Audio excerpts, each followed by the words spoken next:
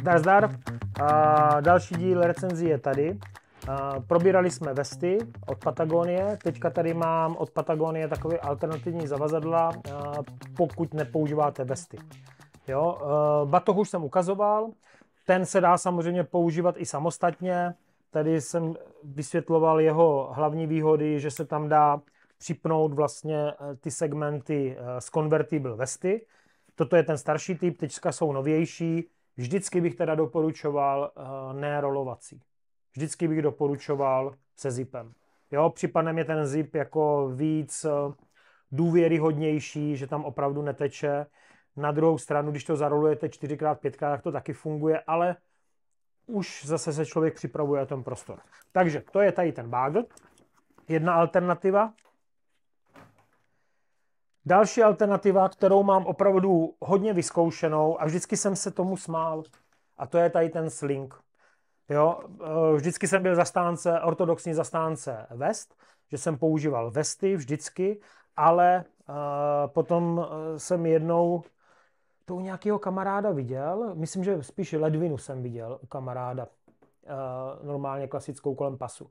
Tak jsem si říkal, že když chodíte třeba na štiky, nebo když opravdu člověk hodně chodí, tak není potřeba mít tu vestu naplněnou těma všema krabičkama, ale stačí prostě mít tady ten sling. A tady ten sling funguje tak, že vlastně uh, vy si ho dáte takhle. Tady je takový jistící popruh, kterým si to přichytíte. Jo, a takhle máte vlastně na zádech ten sling. V okamžiku, kdy jdete hlouběji, tak si to trošku přitáhnete, jo, dá se to ještě posunovat. Jo, že se to trošku přitáhne. Jsou tady různé očka, já tady mám jo, prostě rukavici, když štiku uh, beru do ruk, tak aby mě nepokousala, což samozřejmě se často stane. Jo, to mám většinou schovaný zatím, nebo si tady na ten popruh připnu GoPro. Jo, v okamžiku, kdy chci něco prostě zezadu, odepnu, pootočím, normálně to tady nemám otevřený, otevřu to a šahám dovnitř a beru si věci z toho. Jo? Co je pro mě trošku nepochopitelný, tak tady tento, tato kapsa, že tato kapsa je spojena opravdu velmi tenkým materiálem, ale mám tady toto opravdu taky 5-7 let a úplně v pohodě, že prostě bych i tu kapsu oželel a radši měl to kompaktní prostě celý a měl jistotu, že se tam nedostane voda. V životě se mi tam voda nedostala, ale trošičku tady toto jako zavání. Zip. Ocenil bych, kdyby toto očko bylo kousek blíž, protože když zapínáte ten zip, tak potřebujete to očko mít co nejblíž. Jo? A zase naopak, toto očko je tady úplně nesmyslně umístěný, to bych dal semka, že když otvíráte, jo, tak prostě tady to vlastně nejde. Takže ve finále to musíte chytnout takhle a otevřít to. Jo, protože to není klasický zip, to je ten vodotěsný, takže uh, zkrátka to uh, musí se dělat větší silou. Jinak vevnitř tam je jenom jedna uh, kapsa, jo, na doklady.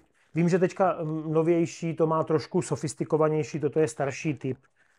Nicméně jsou tady nějaký poutka, samozřejmě na ten, na podběrák, Tady se dá ze spodu ještě něco přivěsit tady zase na tady tyto uh, očka. Já tady mám ještě kleště na vytahování streamerů z tlam. Jo. A poslední poznámka k tomu je, že v okamžiku, pokud zvažujete tento sling, tak těch slingů je uh, samozřejmě zase o spousty firm různý typy, různý prostě uh, velikosti ale já znám zase od Patagonie hlavně, tak doporučuji, abyste si vzali vždycky vodotěsný. S vodotěsným zipem, vodotěsnou verzi. Oni tam mají verze, prostě, které jsou takový jako z materiálu ne vodotěsného a my jsme zvyklí u nás brodit opravdu na doraz a často potřebujete fakt jako zabrodit tak, že máte prostě vodu až po prsa a když máte vodu po prsa, tak prostě ten bágl je pod vodou. Pokud je vodotěsný, jste v klidu. Tak, toto byl sling. Ten mám vyzkoušený, doporučuju. Říkám jedině tady tento zip, ale nikdy jsem s tím problém neměl, takže říkám, doporučuji. Nově jsem si teďka pořídil pod vlivem já nevím, Ondry Misara a dalších kluků, co jsem viděl na Zélandu.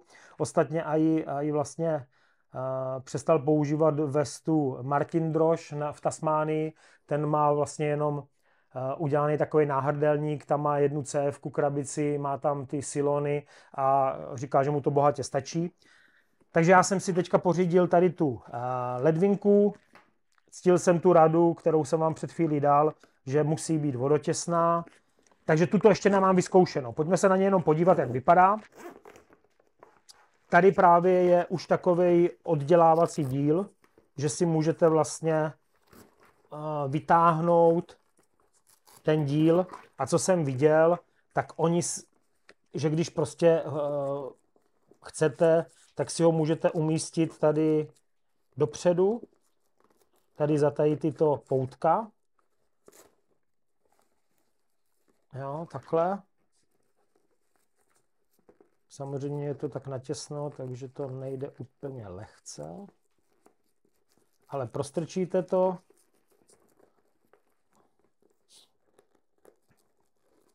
No a zasucháčujete to, pokud se vám to podaří. Podaří se mě ta sekra.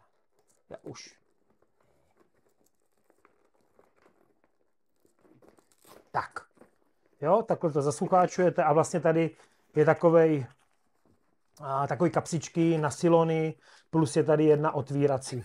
Takže buď to ji můžete mít fajně tady na klíče zase, nebo na něco cenějšího. Jo, můžete to mít takhle zvenku, anebo tady vevnitř.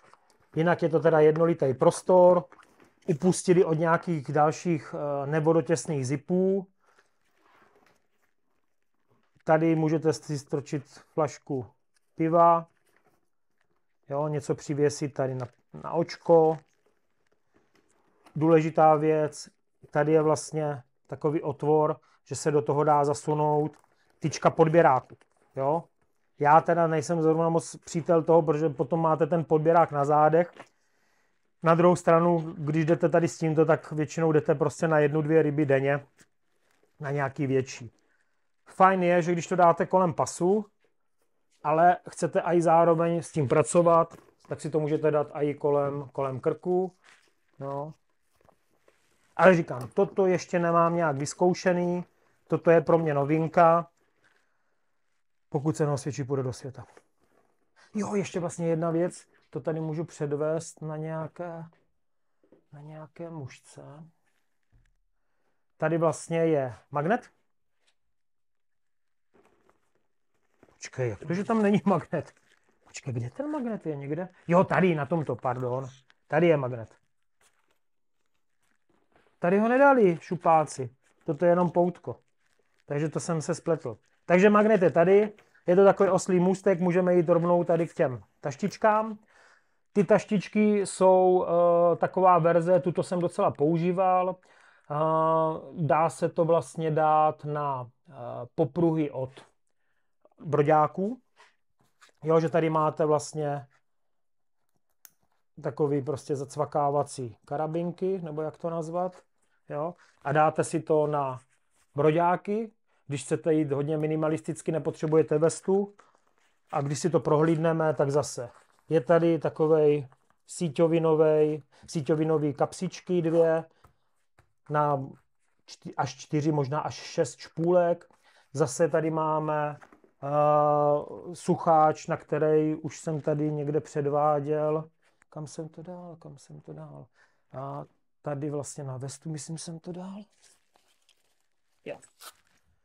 Že tady máme sucháč, protikus, šup, jo, a máte tam zásobník na mušky, jo.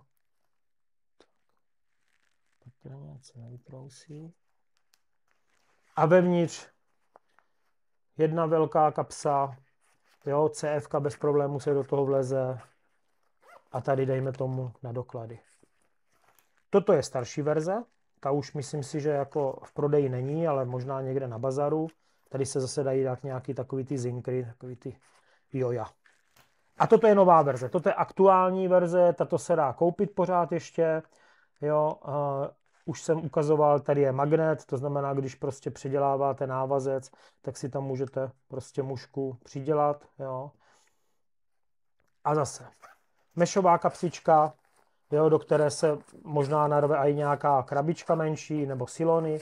Tady jsou sucháče, takže teoreticky by se tam vlastně uh, taky dalo něco takového přidělat, ale tady to zrovna není šťastná pozice, ale viděl jsem různý kolečka, že se dělají vlastně na silony. Jsou tady poutka, který vybízí k tomu, že se za to přichytí peán. A magnet jsem říkal, tady ze spodu klasicky jenom poutko a vevnitř je taková sortírovačka, zase se tam dá dát, dejme tomu dvě, tři špůlky, krabička, jedna, druhá a tady ze zadní strany poutko na opasek, že to můžete si dát prostě jako ledvinku, nebo to můžete třeba alternativně, můžete to dát prostě i tady, nebudu to předvádět, protože to trvá dlouho, ale pro představu, jo, že se to dá dát semka, že si to tak jako rozšíříte, tu ledvinu. No a poslední verze jsou tady zase tady ty zacvakávací trojzubce nebo no, klasický, který můžete vlastně, kterým asi to můžete přichytit na popruhy od e, broďáku. Jo, takže tady máte vlastně takový základní vybavení pro nějaký pár hodinový eh, výpad k vodě bohatě stačí. Jo, takže tady ty kapsičky se mě docela líbí. Co je trošku nevýhoda, že jsou, eh, nebo respektive, že nejsou vodotěsný. To vím, to jsem viděl u Martina Dvořáka, ten má odjety, ale to je zase prostě o, eh, o cenu o řád pomalu vyšší, jo, takže tam je to nějak na magnet udělaný a, taky takováhle kapsička. Plus ještě teďka vlastně jsem kupoval ve Fishmasteru jednu kapsičku, ale tu mám teďka v obytňáku, tu už nosit nebudu. Jo, takže to je představení takových alternativních zavazadel na, na rybářské vybavení, muškarské vybavení. Já teda jsem spíš ten vestový, jo, takže já spíš používám ty vesty, co jsem ukazoval v předchozím díle, ale toto je taky alternativa. Jo, spíš bych řekl pro ty, kteří chodí víc kolem vody a tolik nebrodí, ale proč ne? Takže to by bylo prostě v tomto dílu všechno. Mějte se hezky. Zdar, zdar.